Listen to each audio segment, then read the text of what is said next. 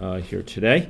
Um, so, uh, within today's uh, lectures, I'm going to be um, I'm going to be going and covering two major uh, things. Uh, the first is just to talk a little bit about the structure of the course, so you know what to expect, um, the uh, the flow of lectures, as well as the the the balance of marks and um, the expectations as far as um, deliverables.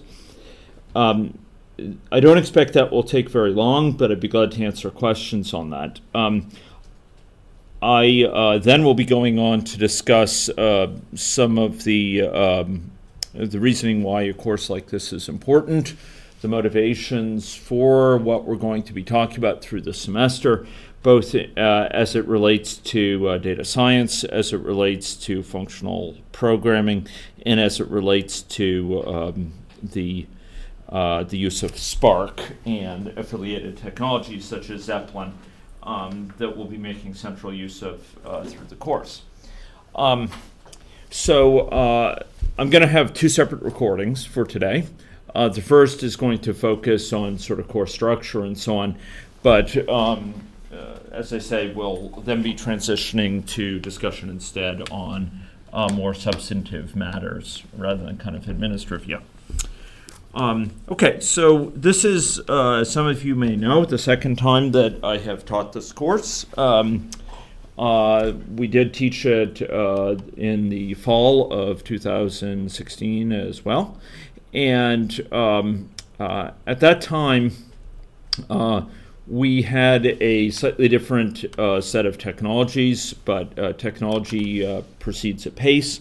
And um, this version of the course is introducing some new technologies such as Zeppelin um, and a, an additional emphasis on some aspects of social media harvesting that we didn't um, emphasize the first time round uh, nearly as much.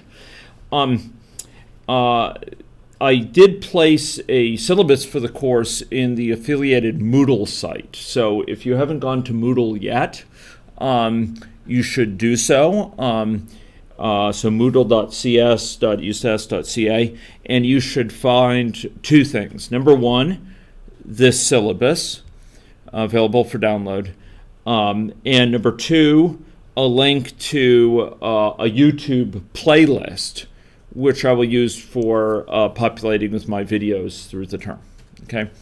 Um, uh, the um, syllabus will probably be tweaked here and there to reflect uh, balance of time, etc.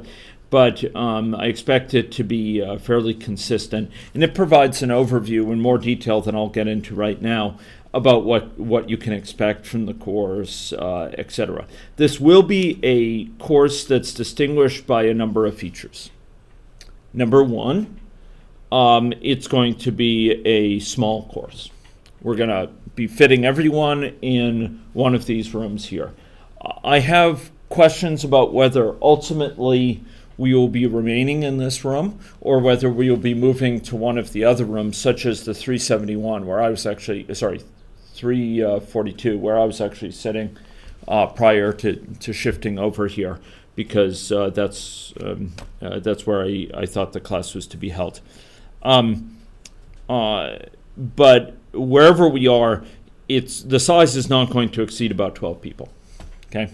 Um, uh, secondly, um, this is going to be a very hands-on course, and and by that I mean actually in a way that exceeds what you folks may have experienced in other courses, which are fairly hands-on, like 858. So we're going to be going through together simultaneously, um, synchronously, as it were, um, uh, undertaking actions uh, in uh, a variety of platforms, but most notably um, in uh, the Spark shell in Scala, um, and uh, and also uh, in Apache Zeppelin, um, probably as a host for that. through the semester, so we'll be we'll be following exercises together. We'll be undertaking actions together and exploring some of the concepts that we're going to be talking about together. Um, so it will be very hands-on. Now, um, I, I would request that people, if possible, bring along a computer uh, to this class, okay? Um, and I will ask you to download and use um, an important uh, package or two for the sake of this course. Um, we're going to be using packages that are are are um, uh, available in a, um, a component uh, fashion, um, in a containered fashion, using the Docker system. Um, and Dockers, I know something Ujia and Bopu have worked with a great deal. Um, uh, Docker basically will provide you with a way of getting already configured, self contained um, arrangements of the technologies used in this course. The technologies used in this course are varied and they will fit together very closely. So, Scala, Spark, Zeppelin, Cassandra, the database where Ethica data is stored, um, Apache Bahir um, for uh, tweet harvesting, um, and some additional technologies as well. We'll all be using those. And you can download each of them independently and install them and configure them to work with each other. But it's actually uh, uh, there, there's there's some uh, work involved in that. It's not totally trivial. It's not overwhelmingly difficult, but it takes you know the better part of the day probably to get two or three of those technologies set up. Um, so we will be instead of that using um, uh, these containerized uh, systems with Docker, which are already pre-configured. So that's one reason we use that because they're already pre-configured. Okay. Number two, they have all their dependencies satisfied internally. Number three, we'll be all running the same version regardless of what operating system or platform we're using. So I'm going to be pointing you to certain reference Docker images, which you can download to your machine. And the way Docker works is it provides you with a way of running a virtualized container, a container in kind of a virtual machine, as it were, which works exactly the same whether you're on Mac, Linux, PC. It'll work precisely and I mean precisely the same. Okay, and um, and this is going to be important because we'll be undertaking exercises where if you installed things separately, there might be glitches. You know, you've got a Windows machine and this is configured a bit differently or what have you. And by using this containerized Docker image, we're going to be all able to have the same experience. Okay? So I'm going to be referring you to a um, uh, to a, a, a Docker uh, based version of Apache Spark and Zeppelin, which I'm going to ask you to download. And I think I might as well just do that right now um, to point you to this thing um, so that you can um, uh, you can download the appropriate one. What we're going to be downloading is a, a system called Apache Zeppelin. Okay, now it's Z E P P E L I N. I can never remember if it's two L's or two P's or both. Um, but Apache Zeppelin, and if if you go to the site for Apache Zeppelin, um, what you'll find is that it is a project that supports a wide variety of, of technologies. Okay, and uh, these technologies include, most notably, Spark, um, uh, this platform for scalable data science, um, uh, but also some um, Spark uh, connectors that allow it to work with things like databases, a Cassandra database where Ethica data is stored, etc. Um, And we're going to be uh, making use of several of these technologies uh, in the course of our work.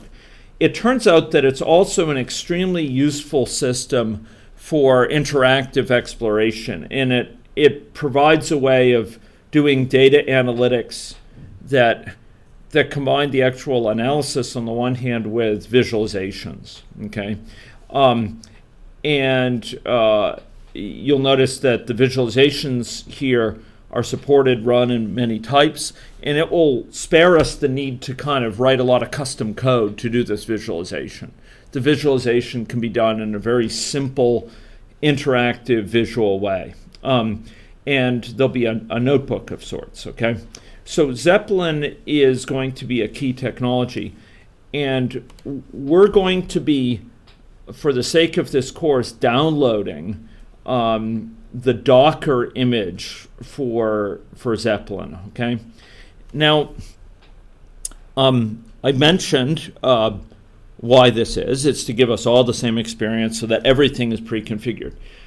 You could download Zeppelin by yourself. You could download Spark. You could download Scala, and you could wire them up to each other. But it'd be a lot of work, and it would be confusing. It would be many hours of work. Um, you'd learn a lot but there's challenges here, and this course doesn't focus on those configuration challenges. Instead, what I'm going to ask you to do, and I recognize that this involves a little bit of work itself, um, but it will spare us a lot of work later, is to download this thing called uh, Docker. Okay, and uh, Docker is this system for container packaging up containers um, in a way that they are self-contained, secure, um, and they are um, have sort of a common common reference. And you're going to want to download this Docker Community Edition, okay? Um, and it exists for for many different uh, platforms. Um, and you're going to want to uh, install it on your on your machine. Now, it turns out that Bopu here and Ujie have worked quite a lot with Docker.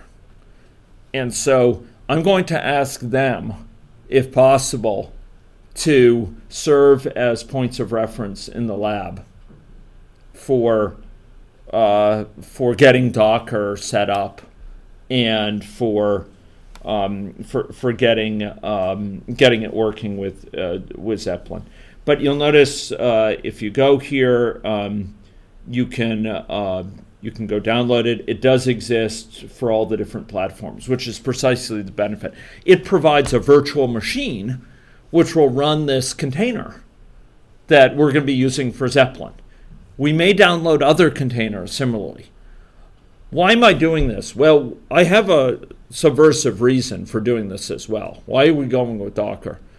because it turns out a lot of our lab is reorienting to use Docker as a containerized system. And UGA and Bopu have been sort of at the forefront of this with the policing analytics lab. But it also turns out Docker is, as a technology like Spark, taking the world by storm. And it will be very helpful for you to get some experience in Docker because this is much of the way that software will be consumed in coming years is through containerized interfaces. Okay, so um, this Docker Community Edition is free. You can download it, install it for the different platforms, and it runs you know differently for different versions of of, of Linux here. Um, once you do that, you can then you can then go and launch using Docker. You can launch Zeppelin and this this actually starts to communicate some of the benefits of Docker. Because notice that I don't actually um, um, have to do anything too complex uh, for uh, for advantages with this. Um, you can download Zeppelin separately and, and install it, but instead, what you can do is you install Docker, and Docker can run thousands of different pre-configured systems. You can get you could say Docker, go get this system, go get that system, and it will download a pre configured, self contained little world for you to use. Here, you're going to be able to run Zeppelin for the first time using Docker, and it will take care of downloading it and installing it, sort of installing the Docker image, and in a, in a totally self-contained way. Okay, so I'm going to ask you to go through those two steps for next time. Okay, and I would encourage you to think about doing that during this session. Is actually to to start downloading and getting them going. On the one hand, Docker, Community Edition, and secondly, Zeppelin. Invoking it like this, it will take care of going and getting the bits and downloading it and and putting it on your computer and setting it up. And all of us will have the same experience. You'll notice we're using Zeppelin 0.7.3. Again, Windows, Mac, Linux, it'll give us all exactly the same experience. And it's going to be pre-configured to, to know how to work with Spark and Scala and Cassandra and SQL and uh, all these different uh, technologies that we'll be using spare you a lot of headache. Okay? Um, now, in the course of the semester, I suspect that we will be using a few other Docker images. There will be a time as we approach the issue of social media harvesting where I will probably ask you to get an additional Docker image, which will be a more recent version of Zeppelin. We will no longer use this one, we'll use a more recent one that works with Spark and something called Apache Bahir, and it's pre-configured to work with those. Um, but the point is Docker will be an ongoing resource for you in our lab as well. Okay? So again, Bopu and UJ, I'll appreciate it if you can talk with anyone about um, you know questions about Docker and, and getting things set up. Okay? Um, so that's going to be a uh, key component of the course is using Zeppelin, this lab notebook for Spark and Scala on Spark with these other technologies. And uh, we'll be using them in a Dockerized uh, fashion. Okay.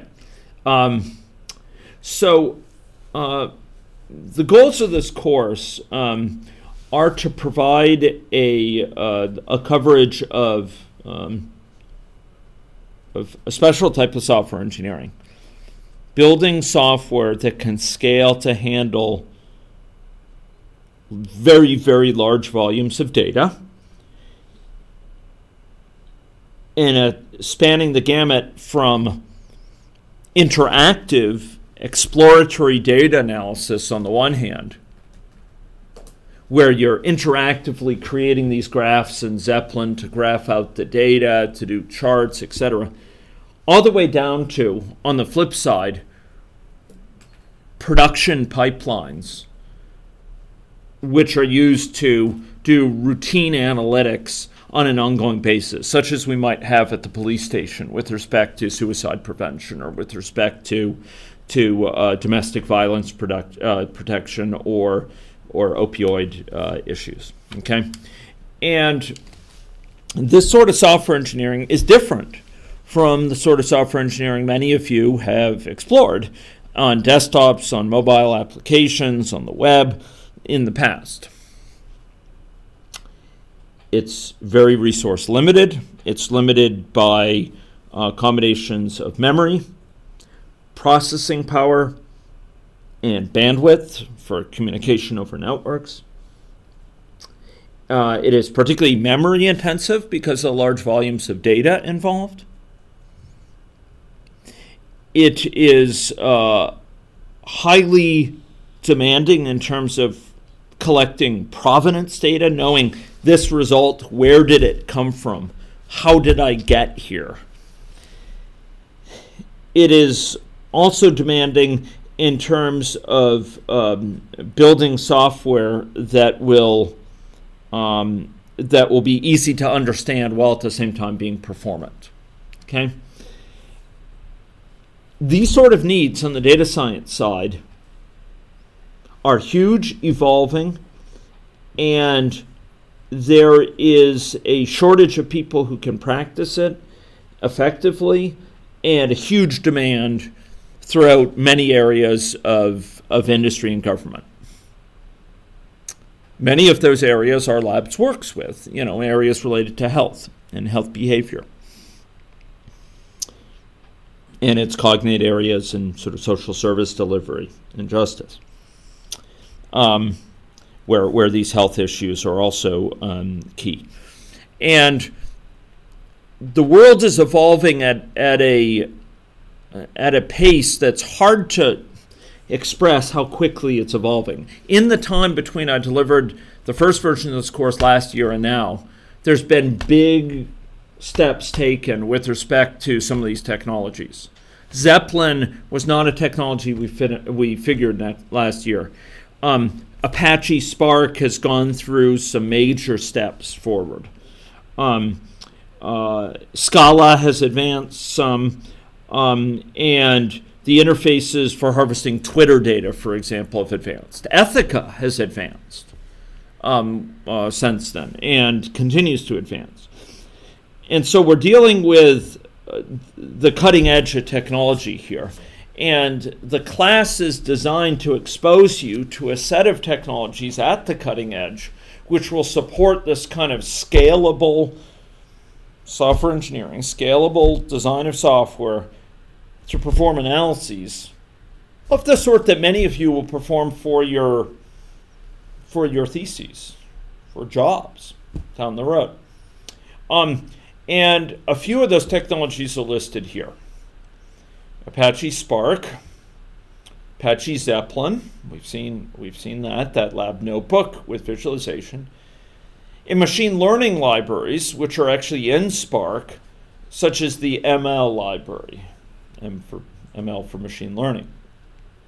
These are extremely powerful machine learning tools that are composable. You have pipelines that you can define to build up ever more complex machine learning tools out of subpieces and create these larger abstractions that do sets of work themselves, but without requiring you to know you know, have in mind all the details about exactly all the stages within it. So ML provides this scalable framework for building up uh, quite sophisticated pipelines of, of training machine learning models and, and testing them and applying them with different sorts of machine learning algorithms to very large volumes of data. In doing so in a way that leverages many, many computers at a time and many cores. So the sorts of technologies we're talking about in Apache Spark here can be used to literally farm out computations involving analysis of big data across a lab such as lies behind many of you over there, um, just out there. You know, dozens to hundreds of machines. These technologies will let us basically take an analysis problem and divide it up in a way that allows hundreds of machines to work on it at a time and bring back the results to summarize it without us having to go and intricately um, install software, uh, you know, on each machine cus- custom to our application. It provides us a way of doing this transparently. So, so when you execute a command, it just automatically knows how to how to send it out there and and and uh, distribute it and collect the results. And we do this through the power of Scala and uh, functional programming type approaches. So underlying all of this is Spark's native language. It's one of three languages supported by Spark, the other two being R and being Python.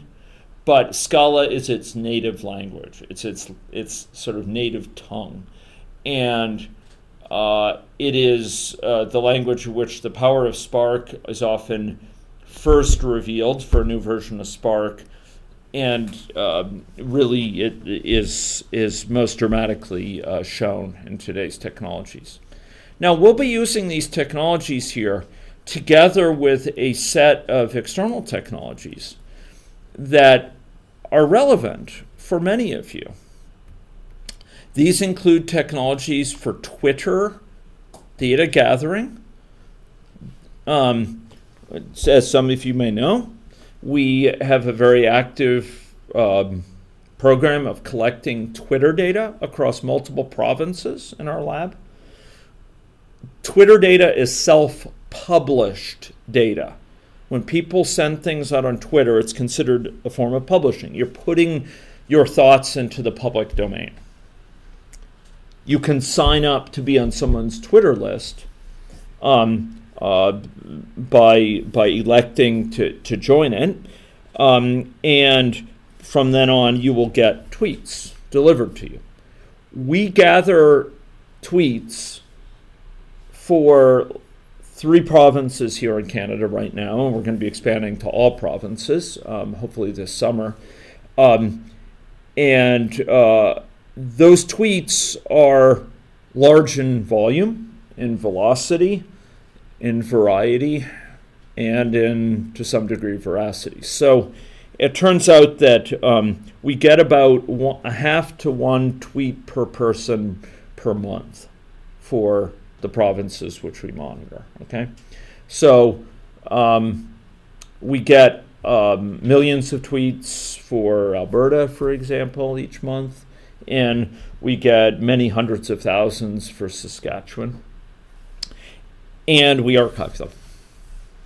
Um, because this is self-published data, the ethics concerns here are very different than if we were gathering, say, uh, Facebook data, where we need permission of each person. Because these are self published tweets, because they could be subscribed to by members of the public, um, we, we, uh, we, we, can gather them uh, with, um, in, in an open way, uh, and we then analyze them for uh, various patterns and various concerns.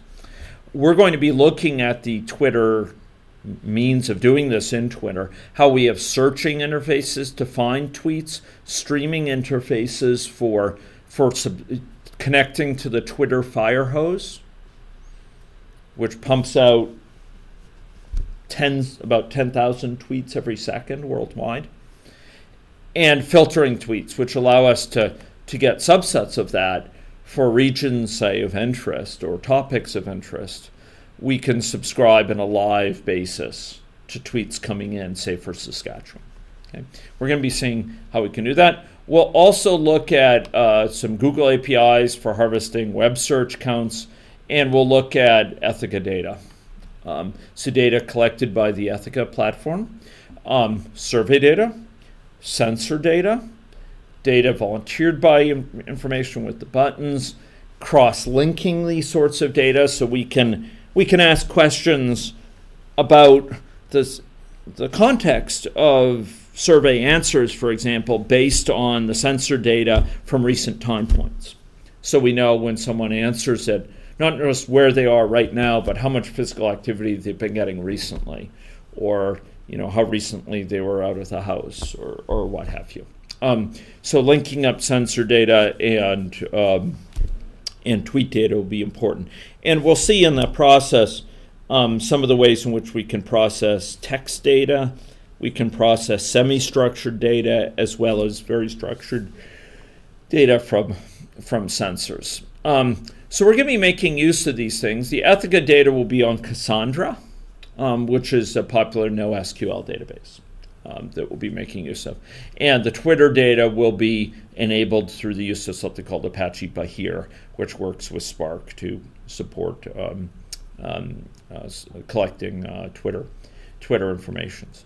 Now, um, as part of doing this, we'll be spending a lot of time in Zeppelin with the Spark framework. Okay, and we'll be using things like these RDDs, resilient distributed data sets, Spark data frames, and data sets. Um, uh, which provide type safe data sets provide type safe way of accessing types of data uh, in Scala.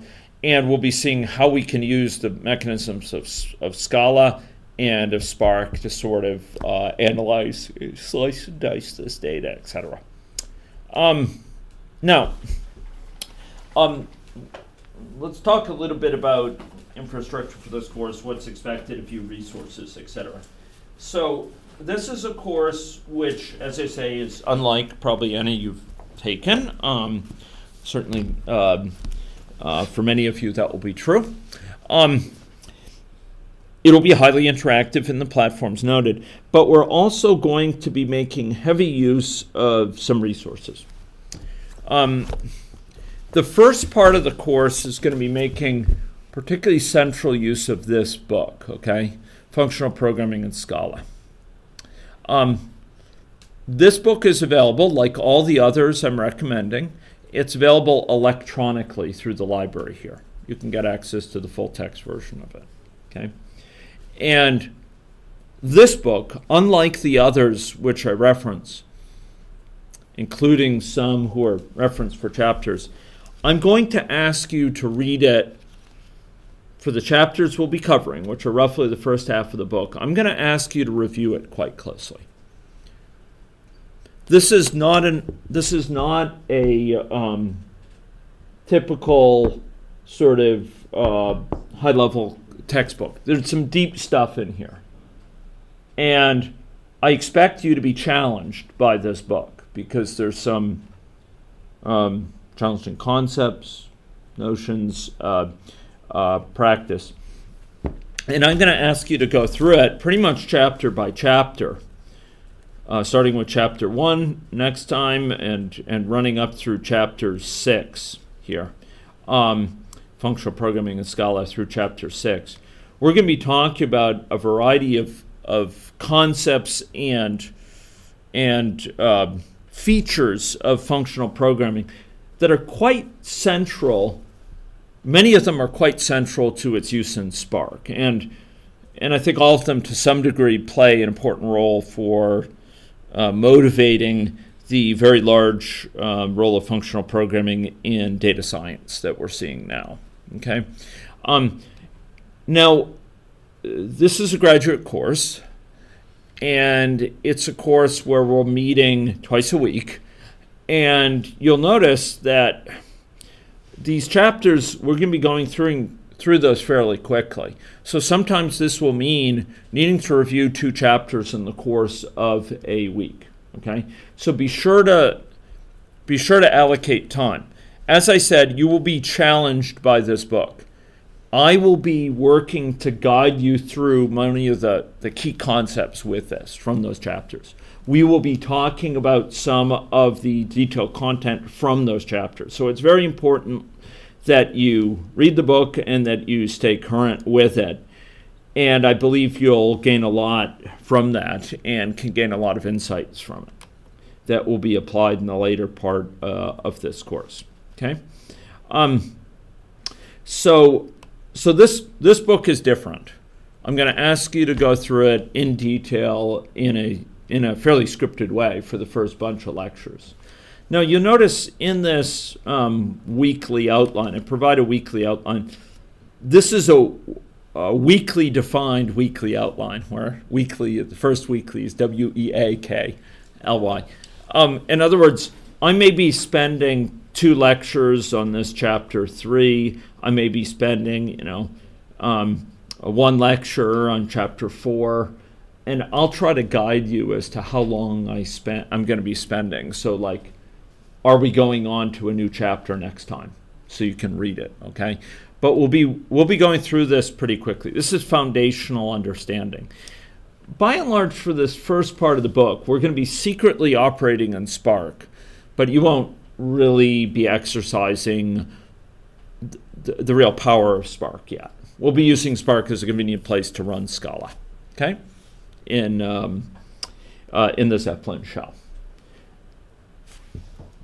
we're going to then have quite a transition for the later part of the course to focus in. So this is probably maybe it'll be about a third of the class onward. Maybe it'll be in, sorry. In other words, starting one third of the way through the class, between a third and a half, I think we're going to be shifting our frame of reference to really focus in on Spark in particular as a as a framework for for building these programs in Scala and for conducting data analysis.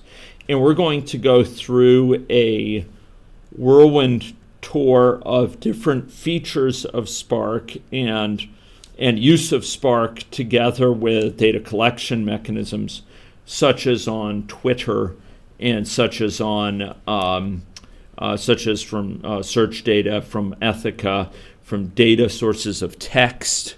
So analyzing text data, which are a source of, of large data. We're going to be doing text analytics like you might do on Twitter or you might do on on you know contents from web pages that were harvested. Um, and um, uh, we'll spend a particular time there just making sure people are solid about Ethica data use. Um, and uh, and you'll see how, how useful a tool this, this can be for doing large queries on Ethica. This is not an optional thing, it turns out. So, ladies and gentlemen, as some of you know, Yuan, Yuan uh, has, has memory back earlier than than uh, just about anyone in this room. Um, our Yuan was involved, I think, in the first version of our data sensing system, right? I think you may have helped out with charging those little modes, right? Yeah. Um, our first mobile data collection system, um, 2009, 2010. We, we worked for a long time with the data collected by that system. First by that, and then by smartphone based data collection with IEPI, um, uh, with Mohammed and, and Dylan Knowles and others. We collected large volumes of data. And for many years, we actually analyzed this data in Postgres SQL or in Microsoft SQL Server or in at one point, it was in, I think, MySQL. Um, and these databases did okay for a while. But we found, like many practitioners working with big data, found that at a certain point, that was that was a road we could not continue down. The latency for executing queries was just getting extreme. You might run a query overnight it might time out, it might encounter an error after many, many hours of processing. And uh, Mohammed, in, in creating the infrastructure for Ethica, reflective of this, needed to put in place an infrastructure for this kind of newest version, as it were, of the, of the IEPI project, put in place a Cassandra database. Turns out Cassandra is up to the task of very rapid queries, but it's very difficult to process on its own terms. Where it really shines is with Spark and uh, using the Spark platform with Scala, you could transparently access Cassandra databases in a way that's performant it takes advantage of memory caching and, and uh, uh, effective reuse of results, etc. But at the same time, uh, it is um, very transparent, very straightforward to write.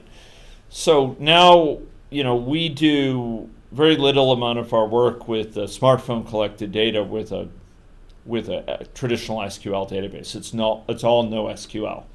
And that pattern mirrors the learning that's gone on in many companies and elsewhere when they work with big data. A lot of the technologies that they've been used to, their cherished code bases in R, their their code bases in you know Python, uh, not using Spark, and in in um, in Java or what have you, in SQL they don't scale well to very, very, very large data sources without a set of new technologies. And that's what Spark provides. So we're not using this because it's fun and new, although it is those things. We're using it because we have no other option to do performant data analysis. And this is true for a wide fraction of the industry. It doesn't hurt that you folks get training at the cutting edge of technologies that are extraordinarily high demand as part of this. Now, so we're going to be going through this, and uh, we're going to be using Scala as a natural standpoint for for doing functional programming here, um, uh, because it it enables us to do these sort of analyses. Let's talk a little bit about what's expected from you in the deliverable um, sense. Really, what we're talking about is three types of contribution where two of them are overwhelmingly uh, dominant. One of them is a set of at home exercises, okay? We don't have a TA for this course. There's no there's no TA for this course. I do all the marking. And um, to make that sustainable, um, when when I proposed this course to the department it was approved, one of the things uh, I put my emphasis is on something that that's really proved useful in other courses, and that is take-home exercises that will help this flipped classroom experience. Those who have taken 858 recently will remember this. Um, uh, I used it as well for 470, 816. I don't think anyone in here was uh, took that course uh, recently. Yuan took it way back in the day, I think, before this innovation. Um, basically, these will be little challenges for you. Okay, and what I'm going to ask you to do is to view these as a challenge, and I'm asking you to meaningfully engage with this challenge. I'm not asking you necessarily to solve it, although it's great if you can and many of you, many of them you will probably solve. But that's not the point. The, the point is to struggle with it so that when we talk about that material in our next lecture, you've recognized where your stumbling blocks are. You've recognized where you got stuck, where you couldn't make progress, and you'll see, you'll absorb more completely the solution that gets you around those blocks. Oh, that's how he does it. Okay, that's how it's done. Um, so that would be uh, a key part is to pursue these exercises. So I would ask of you, I would entreat you, please do not spend more than an hour or two on these each. Okay? I'll give them out thick and fast. There's probably going to be at least one a week. I don't want you to spend overnight on it. I don't want you to spend, you know, six hours on it. Spend an hour or two struggling with it, get as far as you can. Turn it in. Turn it in before class the next day. I will mark it pass fail. The pass is just did you engage seriously with it? Did you struggle with it? Did you hand it in, most importantly? Um, so it's an easy win you know, even if you don't solve it, if you're struggling with it, meaningfully working with it, you'll get a pass. I just want to see evidence you, you tried. Okay? Um, so that's that's almost half the class. Additionally, and critically, there's a project. Okay?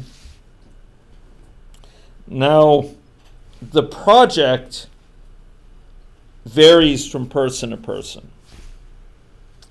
I have a set of proposed projects from last year, and some of them are still relevant, and I could trot out others. Students have pursued very different types of projects. Some of these projects that are suitable are data analysis projects. And in fact, the project description below kind of by default assumes a data analysis project. So, you know, you want to take Twitter data and you want to classify cases of people who are plausibly uh, reporting depression or people who who are um, reporting a workplace injury, something like that. Um, and so you want to develop a machine learning classifier that will run over Twitter data and allow you to automatically classify um, cases which uh, are likely to be serious tweets from one perspective or another, like like it's a case of workplace injury, or it's a case of depression, or someone who's uh, talking about an actual case of flu that's likely to be in the province. And um, as some of you know, we've done that very successfully in certain domains for recognizing people talking seriously about suicide, for people talking about uh, uh, uh, about uh, certain infectious diseases. Um, some of my students, Xiaoyan, for example, has done a great job with machine learning classifiers. That was a project for this course. Okay. Another one would be to work with particle filtering using social media data. Anahita did this last year. Actually, she did it with search data. So looking when people were searching historically for flu, at the same time there was a, a flu outbreak, she used a machine learning approach called particle filtering, together with a dynamic model of flu transmission that further incorporated transmission of anxiety about flu. And she um, used that to, to improve the performance of the particle filtering compared to if it only used clinical data. Using clinical data, particle filtering helped a great deal compared to an unassisted model. Using particle filtering and data from search queries, like how many people were searching for flu related things over time, she was able to improve it quite dramatically. It's ironic because, to the standpoint of many of my health partners, that sort of search data will be considered low on the evidence hierarchy, the evidence pyramid that Yuan has been exposed to. Um, it's considered low quality evidence.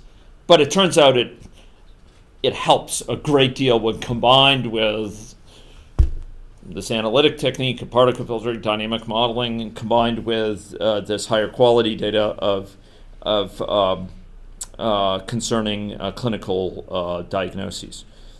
Um, because there's different information in it. Someone could do the same thing with Twitter this time. We didn't have Twitter.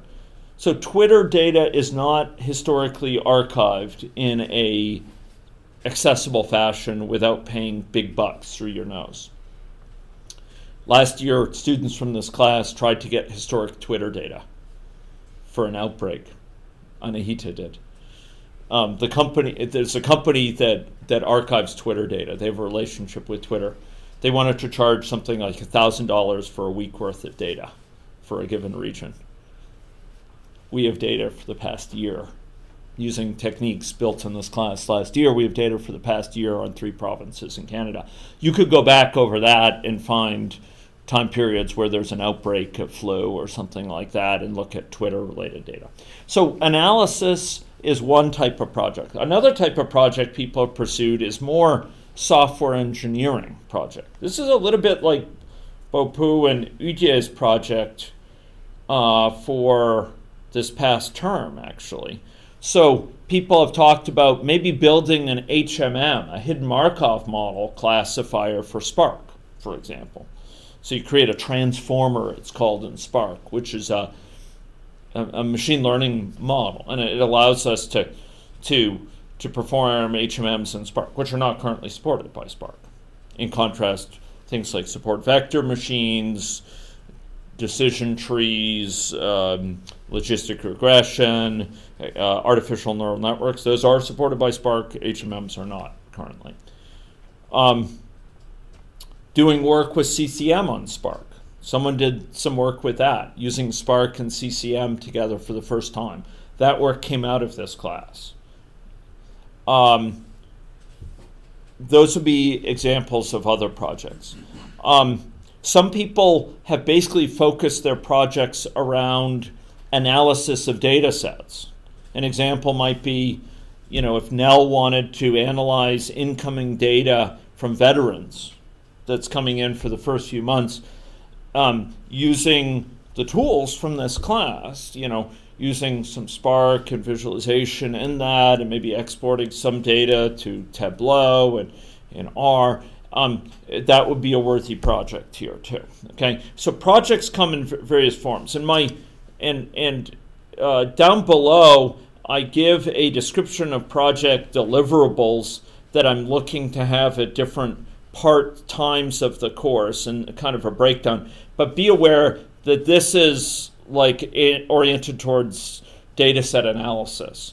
If you wanted to do software development, you want to develop a Spark harness for HMMs or for you know for for to advance the CCM stuff further to do additional analysis we'll work together to adapt this so that you can have deliverables along the way that are adapted for your project so don't get too caught up in that okay um, now one thing though that we will have to face is deliverables for the project so I'm going to ask you to aspire to turn in your report on, or at least close to, the final day of class. Okay? Um, please, for my sake, for your sake, please turn it in. You don't want Christine hunting you. Um, uh, so we have some projects from this class last year that have yet to be turned. Um, sometime I have to speak with Winchell about his, I think. Um, but Winchell made much of this class possible last year, so it may just be his project is delivering the class or something like that. So, in any case, um, uh, let's let's not drag it out that far. You know, I'm willing to give some flexibility. I know s- several of you are in other classes right now, um, 826 or others and I'm willing to be a bit flexible, but let's not have it go many, many, many months. Okay, we can we can turn it in. The project can be small. It doesn't have to be very big. It doesn't have to be the final word on it. You can develop it afterwards. But let's see if we can get it in in the April timeframe so that I can mark it and get you good grades and and you know um, get you uh, get your record in good standing. Okay, because um, otherwise it stays on there as an incomplete failure, you know, for a year or, something like that. Okay. Um, and I mentioned take home exercises.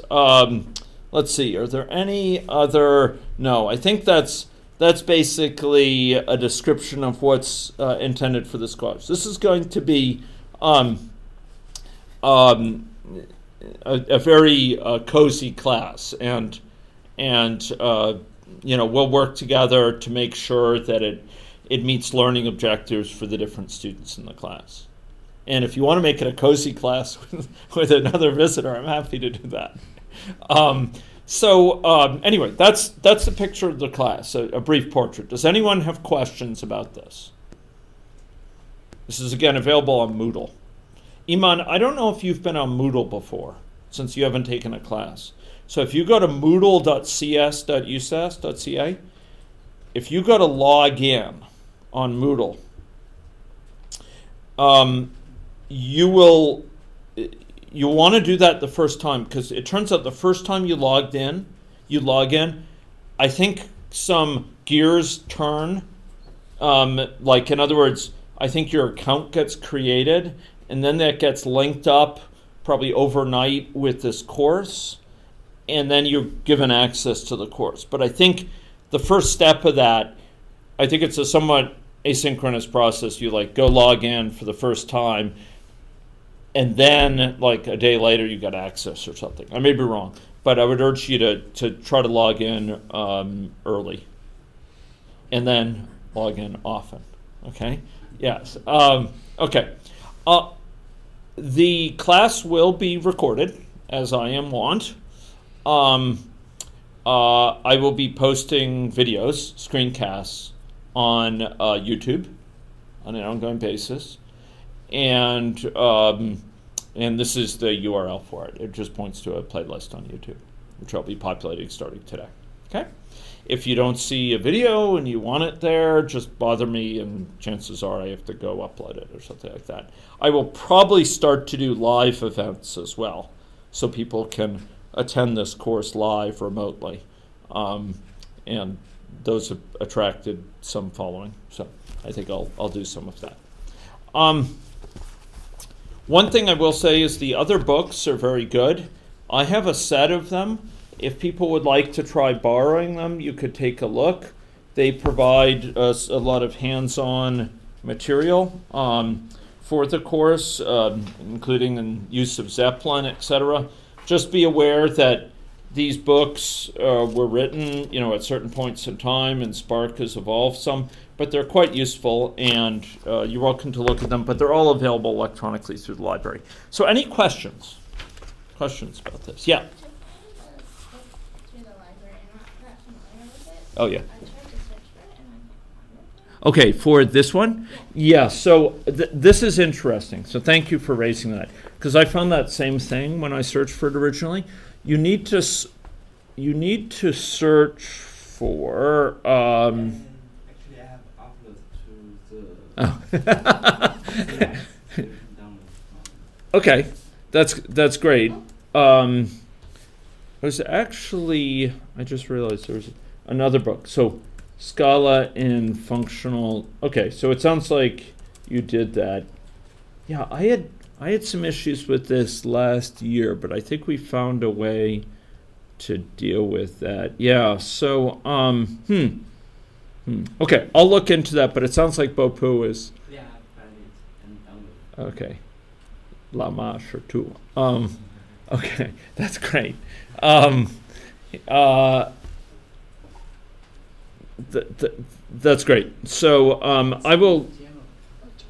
I will see though um, uh, the more typical way in which it's um, in which it's found, because uh, we did find it last year um, through one mechanism or another. Okay. Um, okay. Yeah. Other questions? This version says 2013. The one you have up to 2015. Would it be? Let, let me let me double check that. I'm wondering if if uh, it's been um, updated. Um, this is 2015. Um, okay, so uh, why don't I look into that?